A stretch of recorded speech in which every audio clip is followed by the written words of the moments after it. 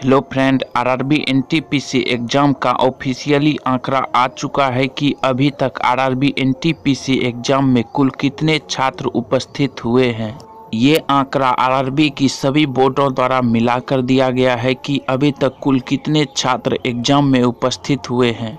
तो आज के इस वीडियो में इसी पर चर्चा करने वाले हैं कि उपस्थिति के कारण कट ऑफ़ पर क्या प्रभाव पड़ने वाले हैं और इससे रेलवे को क्या फ़ायदा हुआ है। सारी बातें जानेंगे इस वीडियो में। तो चलिए आज का वीडियो स्टार्ट करते हैं। नौकरी के लिए सिर्फ़ आवेदन की और परीक्षा देने में नहीं रुचि।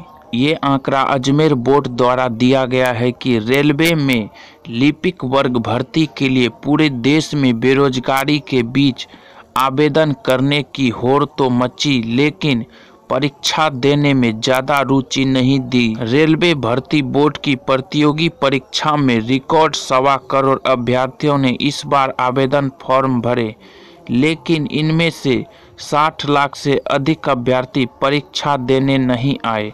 पूरे देश में ही परीक्षा में अभ्यर्थियों की औसतन उपस्थिति 45 से 50 प्रतिशत ही रही। रिकॉर्ड अभ्यर्थी और कोरोना ने बढ़ाई मुश्किलें।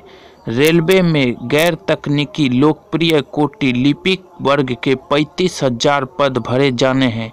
इसके लिए इतनी अधिक संख्या में आवेदन आए और कोरोना ने रेलवे की एक बारगी मुश्किलें बढ़ा दी। इसी वजह से प्रारंभिक लिखित परीक्षा आयोजित करने में लगभग डेढ़ साल की देरी हो गई। आखिर रेलवे भर्ती बोर्ड ने सभी अभ्यर्थियों की एक साथ परीक्षा लेने के बजाय चरणबद्ध तरीके से परीक्षा का कार्यक्रम तय किया। यह परीक्षा 28 दिसंबर 2020 से शुरू भी हो गई। परीक्षा मार्च के अंत तक चलेगी। अब तक लगभग एक करोड़ अभ्यर्थियों की परीक्षा हो चुकी है। इनमें 50 से 55 प्रतिशत अभ्यर्थी अनुपस्थित रहे हैं। पहले परीक्षा जून 2019 में होनी थी। रेलवे को 200 करोड़ रुपए की बचत। परीक्षा में अभ्यर्थियों के अनुपस्थित रहने की बदौलत रेलवे को लगभग दो अरब रुपए की बचत होगी। दरअसल रेलवे भर्ती बोर्ड के नियमों के तहत परीक्षा देने वाले अभ्यर्थियों को उनका परीक्षा शुल्क वापस लौटाने का प्रावधान है। रेलवे ने आवेदन के साथ सामान्य वर्ग अभ्यर्थियों ने पाँच सौ रुपये और आरक्षित वर्ग से ढाई सौ रुपये परीक्षा शुल्क लिया है। लगभग साठ लाख अभ्यर्थियों द्वारा परीक्षा नहीं देने से रेलवे को इन अभ्यर्थियों को परीक्षा शुल्क नहीं लौटाना होगा, जो लगभग 200 करोड़ रुपए हैं। तो अभी तक एक करोड़ अभ्यर्थियों की परीक्षा हो चुकी है, जिनमें केवल 45 लाख ही अभ्यर्थी एग्ज़ाम में उपस्थित हुए हैं। टोटल आवेदन की संख्या 1.26 करोड़ है। अगर इस आंकड़े को लेकर चले तो लगभग 55 से संतावन लाख अभ्यर्थी ही एग्ज़ाम में उपस्थित होंगे। 55 से संतावन लाख अभ्यर्थी ही एग्ज़ाम में उपस्थित होंगे। इससे एनटीपीसी कट ऑफ़ पर बहुत ही बड़ा प्रभाव पड़ने वाला है।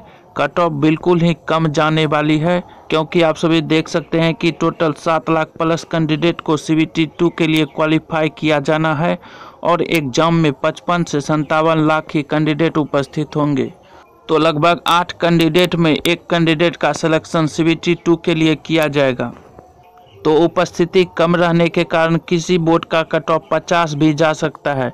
पचास नंबर पर भी सी टी टू में सिलेक्शन हो सकता है। अगर आपके 40 नंबर भी आ रहे हैं, अगर नॉर्मलाइजेशन होकर 10 नंबर 12 नंबर बढ़ गए तो आपका सिलेक्शन भी हो सकता है। तो 40 नंबर वाले अभी बिल्कुल भी निराश ना हो। नॉर्मलाइजेशन होने पर अगर इनके 10 से 15 नंबर बढ़ गए तो इनका भी सिलेक्शन सी टू के लिए हो सकता है। अगर आपने कट ऑफ़ का वीडियो नहीं देखा है तो डिस्क्रिप्शन बॉक्स में लिंक दे दिया है। वहाँ से जाकर आप उस कट ऑफ़ के वीडियो को ज़रूर देखें। इस वीडियो में जॉन वाइज कट ऑफ़ बताया गया है। तो आप लोग का टॉप का वीडियो ज़रूर देख लीजिएगा। तो आज का वीडियो समाप्त करते हैं। वीडियो अच्छा लगे तो चैनल को सब्सक्राइब तो वीडियो को लाइक और शेयर ज़रूर करें। तो चलिए आज का वीडियो समाप्त करते हैं। वीडियो देखने के लिए आपका धन्यवाद।